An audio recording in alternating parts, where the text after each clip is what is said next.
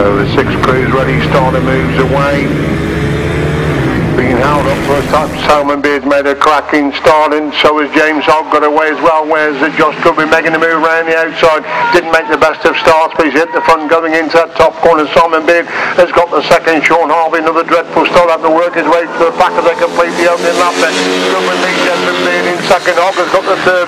Harvey trying to get round the edge of Hogg to move from the third place, goes round the edge of Hogg and Beard trying to get inside. Goodwin, two separate races, and here comes Hughes, getting the rider making a bad start up to fourth place, and look at that third place of Shaun Hughes, and as Goodwin leads Jensen Beard in second, Harvey has got the third, Hughes trying to get round Harvey to move to in the third place, tremendous stop for third place, and Hughes has got the speed to get back round the edge of Harvey to move from the third place, Harvey again trying to get back through on the inside, but Hughes is too quick round the outside, as Goodwin leads Jensen Beard in second, Hughes has got the third, Harvey's back to fourth place, is in five, as they make their way through, Cook start the last lap this time, Goodwin's gone wide, but Beard hasn't got the speed to get through on the inside then, Goodwin leads Jensen Beard in second, Hughes has got the third, Harvey again.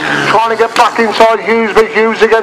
Sweeps back round the outside to retake that third place. Position, Beard's closing up on Goodwin, going into the top corner for the final time, and Harvey's having to go round the house of Hughes as they race for the line, Goodwin makes it 2 to 2, Beard gets another second place, Hughes in third, Harvey is in four, Hogg in five, Neem in sixth place, Super Action in race number 19.